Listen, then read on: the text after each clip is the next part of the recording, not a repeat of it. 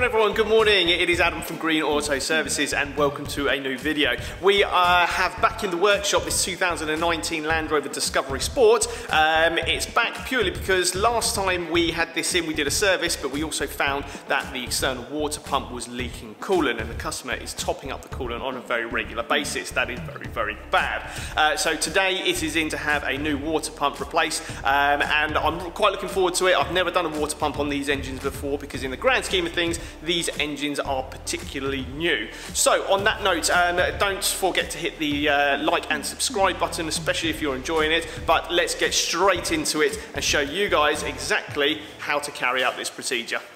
Okay guys, so um, all I've literally done is taken the offside front wheel off and the front of the inner wheel arch liner and straight away you can see the extent of the leak. Now obviously bearing in mind it's a slow leak that's been happening over a long period of time so it, it, it is bad, it looks worse than it is but the water pump is still leaking quite substantially. So I'm going to turn you around and uh, just let you have a look at uh, what I've done and exactly what we're looking at. So this is the offside front of the vehicle. So I've taken the wheel off and the inside wheel arch liner. Now it's only secured with um, a few plastic uh, nuts that just come straight off, a couple of crossheads, um, but they come out really, really easy. Um, be careful when you take it off because there are a couple of uh, wires here that are attached to the side of the um, inner liner, so don't just go ripping it out without checking first that they are definitely disconnected. But this does give you a good view here of the side of the engine. So we have your crank pulley, um, we've got a couple of idlers, uh, you've got your AC compressor, uh, you've got your alternator up there, that's your tensioner and another idler. So up here is where we're looking. Let me just put that there, get shed some light on the situation. Right, so this is your water pump up here. So we've actually got to take the belt off. The water pump pulley comes off separately to the water pump, just with the three bolts. But I don't know if you can see, look, you've actually got a little bit of coolant which is fresh wet coolant just there, which has all been dripping down, and it is completely covering the entire engine. And again, you've got, can you see it all up there? So what's actually happening, um, the water pump is leaking, but you've got to imagine this is spinning really, really quickly. So as it's leaking, it's just throwing coolant all over the place. Um, so that is why we're replacing it. Now normally I would either have the engine running or I would put the coolant system under pressure so I can physically see where it's coming from, but I am 100% sure that is coming from the water pump and regardless it is going to get replaced anyway. So the first thing we need to do is detension um, the belt and take the belt off. Okay, so all I'm going to do here is detension the tensioner, which I am using a T55 piece. That might actually be a T60, but it fits in there lovely. And then just using a small pin, I'm going to lock it off, but I'll show you that more closely once I've done that. Just need to see how much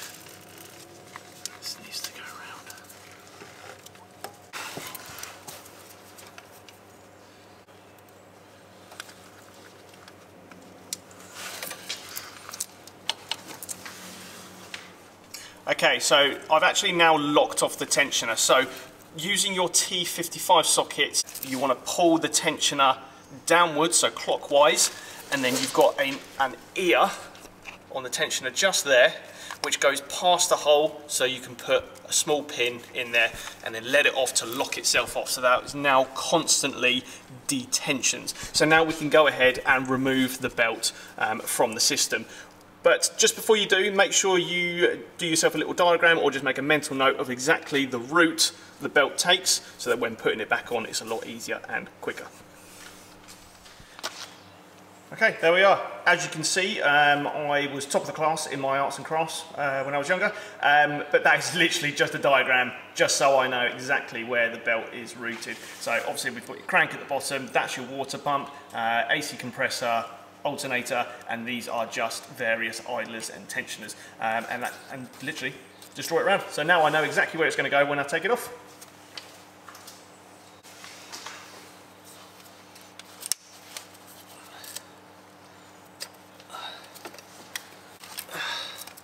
God, everything is so crusty. Where all the coolant has dried, you can just hear the coolant just being scraped off as I take the belt off. And there is dust flying everywhere. Okay, there we go. Okay, there we are, that's the belt out. Okay, so there we are, the belt is off. Um, it's always good practice uh, to really replace these belts. Um, I haven't got a new one in because this one wasn't snapped or anything. On closer inspection though, you always want to have a little look. If I can get that focus, there we go. I mean, the actual belt itself is in pretty good nick. Normally what happens is the belt will show uh, very evident signs of cracking and perishing, um, but this one is absolutely fine. There is um, some minor fraying going on on the edges, that could have a lot to do with the coolant or just general uh, wear and tear anyway, or perhaps that water pump is actually uh, slightly worn and actually not allowing the belt to run true, causing wear. Um, I'm probably going to recommend that he has a new belt, but for the time being, this will be absolutely fine to put on there, and it is actually really easy to take off and renew, so we'll probably do that on a later date. Um, so, let me just take you up to that water pump. Okay, so this is the side of the engine and uh, now that we've got the belt off, it's actually given us obviously a little bit more room, but you can see the extent up there of the leaking water pump. Uh, apologies for the lighting, hopefully you can see that. That is just quite bad. So obviously that pulley is spinning so fast and as the coolant leaks out, it's just throwing it everywhere. So that is what we're replacing. Um, now, I have noticed looking at the new pump that actually this water pump has some electronics attached to it. Now I don't know if you can see, there's two plugs there. One there and one there, which is all covered in coolant. Um, they actually come with the new water pump. So what I'm going to do is I'm going to take this water pump off uh, along with the pulley and then I'm going to marry the two up and show you, um, obviously it's going to be exactly the same, but show you what to look out for, because it just gives you a good idea of what to look out for when you're removing the old one. Okay, so this is actually going quite well. Um, this is looking quite straightforward, um, more than I thought actually. Um, famous last words, let's not speak too quickly. Um, I'm going to spin you around, just let you know what I've done so far and what I found um, and exactly how to tackle this. But um, it's very straightforward, so let me just spin you around. There is the water pump. Now, it probably looks a little bit different to what you saw it as, purely because I have uh, just removed the actual pulley, which is bolted to the outside of the impeller with three 10mm bolts. They come off quite easy. Um, don't get me wrong, give me five minutes once I've got this all out. Um, I'm going to show you everything on the bench, which is going to be a lot more clearly. So once you've removed the um, pulley, it gives you a lot more access to the bolts that actually hold in the water pump. So the water pump has uh, 8 mil bolts holding it in and uh, what have we got? We've got one, two, three, four, five, six bolts I think it is. Um, and my next step is just to now start cracking these off bit by bit. Because you've got to just bear in mind, once you crack them off, um, let's get your focus there. Once we crack them off, coolant is going to start potentially coming out uh, of the engine, so I need to put something underneath to catch as much as possible. Um, most people will probably drain the whole system through the lowest radiator hose, but actually the water pump is quite high up, so I'm probably only going to lose um, what's in the top part of the engine. So I'd rather save as much as I can. Um, so the next thing, like I said, I'm going to crack off all the 8 mils and then take it off, put it all on the bench and show you exactly what I've done.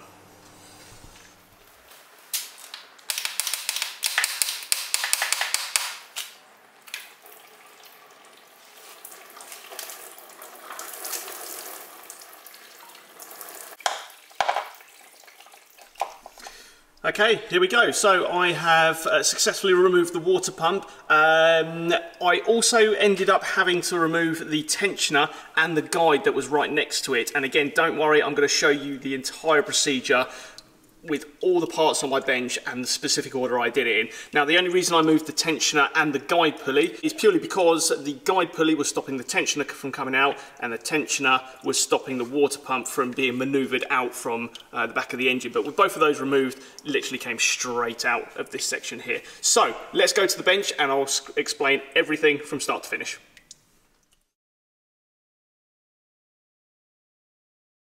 Okay, here we go then guys. So this is the really informative part of everything that we've done. So, bear with me, I am going to take you through everything. So, this is the old water pump. Now, let's just say for starters, imagine this is still attached to the engine. Um, the very first thing that I took off was the actual pulley that drives the impeller itself. So that would be on the front there, held in with three 10mm bolts. So a good way to crack these off, because you are limited for room. Now, I had a long 10mm spanner, and I just had a small lever bar, and literally all I was doing is locking between two of the bolts to stop it from rotating and then using the spanner just to crack them off and then rotate it around, do the same thing again, crack it off, spin it around, use the lever bar to stop it from turning, crack it off. Once you've cracked those nuts off, they will be just finger tight, so you can literally just take them straight out. Then all from there onwards, you just give it a little bit of a wiggle and eventually that pulley, which the drive belt runs and drives, will just come straight off. Now what happened when I took that off, literally a whole load of coolant just fell down. It was just all collecting inside here, which is another telltale sign that it's the internal seal that's failed on this water pump and is leaking through where the impeller actually goes through the body. So I took that off and put that to one side. That exposed the water pump itself and you can actually gain access to the 8mm bolts the six of them that actually hold this all into place. Now don't forget you do have the two connectors on the end here, which I'll just explain what they do in a moment. There are, you make sure you disconnect them first, there are a couple of safety catches on the end of them that you have to pull outwards to then be able to push down to unlock the tab to pull it off. And that is the same for both of them. Once they're both disconnected, you can then go ahead before cracking them off. I advise to take off the idler and the tensioner. So this idler actually just screws into the body of the tensioner like so. And actually in hindsight, okay, I could have just taken off the idler and the tensioner all in one. I kind of thought this was attached to something else, but all I had was, what did I use? I used, so if you guys are doing it for the first time, I used a T50 Torx into the middle of the tensioner, cracked it off, pulled it all the way out, and then that whole tensioner, now knowing in hindsight with the uh, guide pulley will come off as one piece, but I'm obviously going to screw that back in when it goes together. Now the reason I did that is so that when you crack off the six 8mm bolts that hold the water pump to the engine, because of the size of it, you can't really easily maneuver it out. I actually couldn't get it out, so I took that off to make some space. As soon as I took the tensioner and the guide off, this literally just fell out. So, like I said, six 8mm bolts. I've actually got them laid out here, also in the same orientation, or the place, that I've actually taken them out. Sometimes you'll have one odd bolt which is slightly longer because it's got a deeper thread. For whatever reason, just keep an eye out for that. But in this case, they're all the same size, all the same thread, all the same length. So uh, it doesn't matter if you get it mixed up. I just like to keep them all in order for belts and braces. So there we are. There is your water pump removed from the engine. Okay, so now that we've got the water pump out, we can now compare it with the new one. Now, this is a genuine one from Jaguar Land Rover, and obviously it's correct. Um, it comes with new sensors, it obviously comes as a complete unit, which will also have a seal pre-manufactured in there. So it literally is just a case of bolting this up to the engine. Um, the other good news is, is that it's actually got a couple of dowels, which basically means that will help to locate it in place whilst you do it up. And it also fail safe so that you won't put it in the wrong position. We just put that there.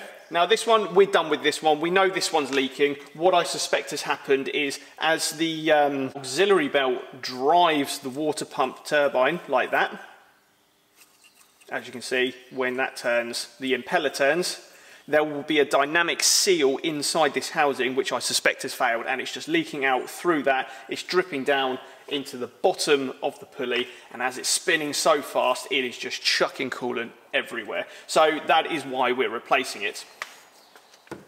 Okay, so just to talk to you um, a little bit about what these sensors do. Now, again, I haven't replaced one of these. However, I am intrigued to see what these sensors do. Now, I've only seen one other water pump with these sensors on, um, and the more newer engines from VW, Audi, Seat, Skoda, they have what's called an electronic water pump, which basically means um, one of these sensors, I kind of suspect it is going to be this one here, will actually uh, activate this sleeve here. And what will happen, this sleeve, when activated, will actually cover the impeller blades here and actually stop the impeller from pushing coolant around the engine. Now, from experience, I actually think when connected, this will be continuously on. Any vehicle will want to get to operating temperature as quick as possible to be as efficient as possible. But if the coolant's running around the system trying to cool the engine at the same time as it's trying to get warm, well, that's not just going to help anyone, is it? So once that's connected, this sleeve will actually slide over, covering the uh, impellers and the actual blades, and reduce the coolant from circulating around the engine and therefore allowing the engine to get up to optimum temperature quicker. Once it gets to optimum temperature and it starts getting to a point where, okay, we need to cool things down, the electronic clutch will deactivate, the sleeve will slide back down, exposing the blades on the impeller, and it will start circulating the coolant around the whole system and therefore cooling the engine. So that's what that particular plug is for. This one, I'm not 100% sure if any of you work for Jaguar Land Rover out there and want to tell me exactly what that one's for, or if I've got it right, or if I'm completely wrong, um, please do let me know. I kind of suspect this may be some sort of temperature sensor. There's only two wires in there, so it's only going to have a feed um, and an earth. Um, and it's probably going to go through a resistor which measures temperature and alter the readings accordingly. But that's just me spitballing. So there we are. We All we need to do now is just fit the new water pump to the engine. But before we do that, we have to clean the mating face on the engine side to make sure that we ensure a solid seal and that we have no more leaks.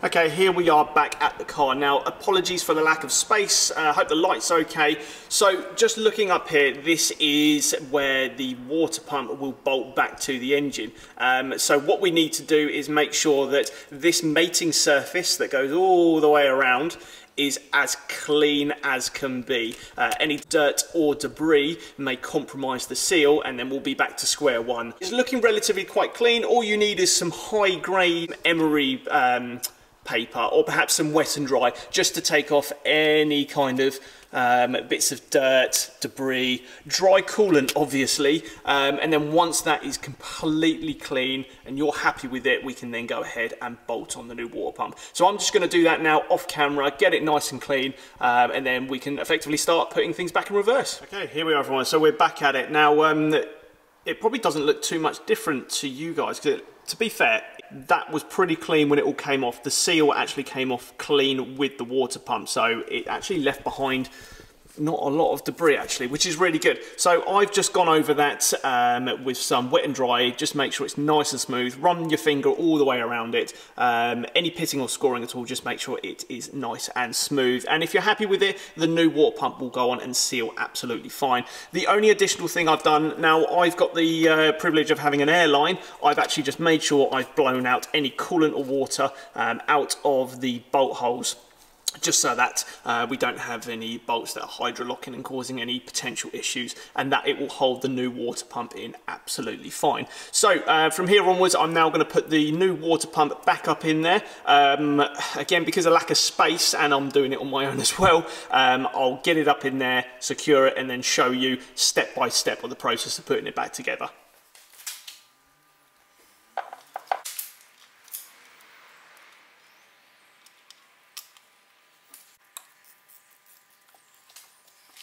Okay, so there is the new water pump. Now, unfortunately, looking at the manufacturer specifications and even um, auto data, um, there is actually no tightening torques for the water pump. Now, I know there will be tightening torques, but I just can't find um, anywhere exactly what they are. Normally when it comes to water pumps, um, they're not much at all, normally around about 10 to 15 newton meters at most. Um, because I don't have that information, I have just kind of done them all up finger tight as best as I can and then um, give them just a kind of a, a, little pull round to just nip them up. But I'm more than happy with that. I'm now going to take this opportunity to get some brake cleaner and just clean um, not everything, but just as much uh, debris from dry coolant um, as best I can, especially on those electrical connectors you may just see over there. They are quite engrossed. I'm going to give them a good old clean up before I connect them. So that's my next job and then I'm going to get everything else with the tensioner and the idler um, and the drive belt back on and then get this vehicle run up to temperature.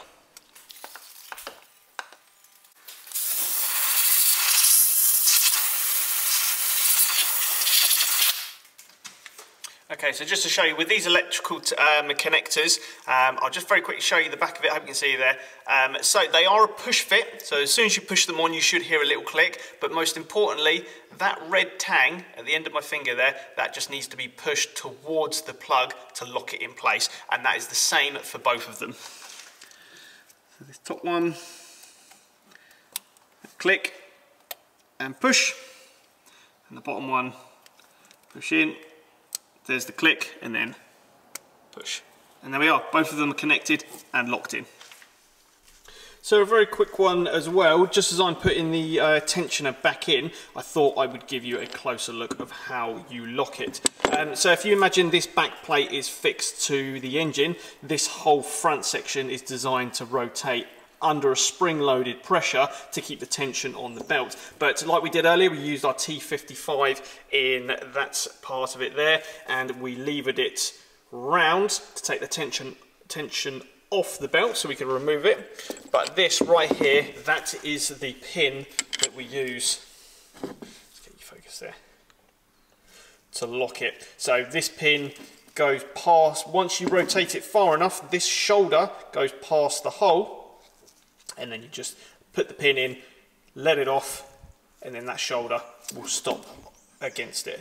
So it allows you to put it back on, put the belt on with the tension being completely off, and then when you're ready, you can just apply a little pressure using your T55 in there again, pull the pin out, and then allow it to naturally take up the natural tension. And then fortunately, when you're installing it, it actually has a large dowel which is that part there, which locates into a recess in the engine so it can be put back into exactly the same position. Perfect. Okay, there we go. So now we've got everything back in place. So the water pump's in, the pulley is bolted back on, the tensioner and the guide is back in. All it is to do now is to use my awesome little sketch, there we go, to put the belt back on in the correct position.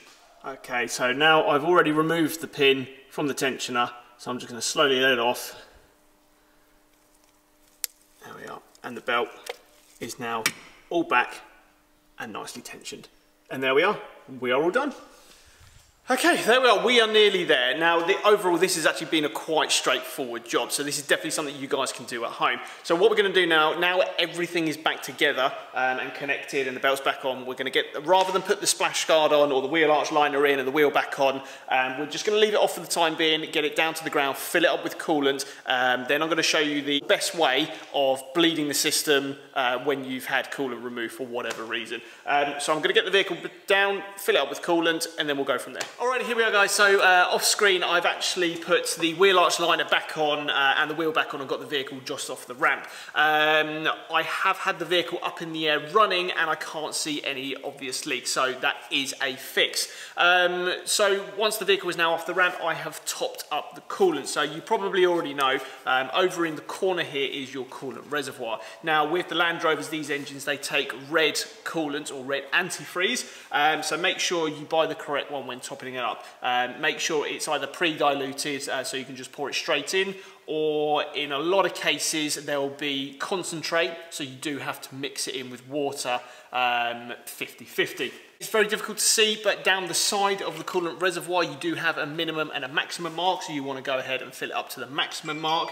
Um, you will find that you'll probably hear a bit of bubbling or gurgling as the system is just letting air naturally out. Um, just keep topping it up until it stops draining down and it is on maximum. Um, keep the cap off for the time being because we are now going to run the engine. Um, so I'm going to take you inside the cab with me and show you what settings to put it on to ensure that we bleed the system successfully. Okay, so here we are back into the vehicle. Now, before you start the engine up, um, you want to make sure that you have the settings uh, set to the maximum heat. That way, the system is going to allow coolant to uh, flow to its maximum potential and ensure that we get heat through into the cab. Um, so actually, go ahead, start the vehicle up. And then I'll just spin you around now on these particular ones you want to put your internal heating onto maximum but you want to have your fan on the second or first lowest setting and have it coming through the vents as well. Ideally you want to close off the centre ones and just have access to the outside one um, so you can feel the warm air coming through the vents. The warm air coming through the vents is a telltale sign that the system is flowing coolant correctly um, and then you just want to keep on running the vehicle until the vehicle temperature gauge, if you have one, um, gets up to temperature. Um, so with diesels this does take quite a while um, but you'll know when it's up to temperature when the cooling fan or the radiator fan will cut in. But don't be fooled, make sure your air conditioning is off because the radiator fan does also come on to activate and use the AC system. So make sure your heating is on flat out and your AC system is turned off. There we go, just keep running the vehicle up to temperature, making sure you, you top up the coolant as you go because it will start going down the warmer the engine gets um, and then once the cooling fan cuts in, you're all done. Okay, here we go then guys. So I've uh, had the vehicle running up to temperature for probably a good 20 minutes now and um, everything seems to be absolutely fine. I'm getting hot air coming through the vents, the temperature gauge is getting up to bang in the middle, uh, which I'll show you in just a second, um, and everything seems to be circulating absolutely fine, so I am more than happy with that. Bear with it though, um, these diesel engines, they do take a long, long, long time to get up to op operating temperature and for the radiator fan to cut in. But we got there eventually. It may take another uh, five, ten minutes depending if the car's stone cold or not. Um, so bear with it. As soon as the fan cuts in, you can then ease off the accelerator and everything will be fine. From there onwards, you then have to let the car cool down and get back to as close to stone cold as possible because that is where the true level of your coolant will actually be and it will drop and you will have to top it back up to maximum but you'll only be able to do that once you've let the vehicle sit preferably overnight, see it first thing in the morning and then top it up to the maximum. Um, the only other thing I am going to show you very quickly is that you may need to bleed the system, but fortunately there is actually a bleed valve on top of the radiator. I'll just take you around there now. And actually whilst we are here in the vehicle, I'll just show you what you're looking out for for the temperature wise. Just forget. So when this car symbol is up, you have your temperature on the left here. Again, which just cycling through the diesel emissions. When that arrow is bang in the middle, that is where it should stay. It shouldn't go any higher than that. If it goes any higher than that, um, it's sensing that the engine is starting to overheat, which could very likely be because of a potential airlock in the system. So if you do need to bleed the coolant system out, if you think you have an airlock, um, to the right hand side of the engine bay, uh, just in front of the airbox, actually on the flange there, you've actually got a bleed nipple. Um, so you just need a flathead screwdriver um, just to open that up slightly anti-clockwise um, until you have coolant come out, which is just what I've done there. And coolant came out almost straight away so that would indicate that the system is successfully bled. Um, and then you just carry on from there until the cooling fan cuts in and then you know everything um, has circulated successfully and the cooling fan is successfully cutting in as well Okay, and there we have it guys, all done. That is how you successfully replace a water pump on a 2019 Land Rover Discovery Sport. Thank you guys so much for watching. Really appreciate all of your support. You guys are subscribing and liking left, right and centre, so it is amazing. Thank you ever so much. Uh, on that note, liked something, enjoyed something, or perhaps even learned a little something, you guys know what to do. Hit the like, hit the subscribe, and we will 100% see you guys in the next video.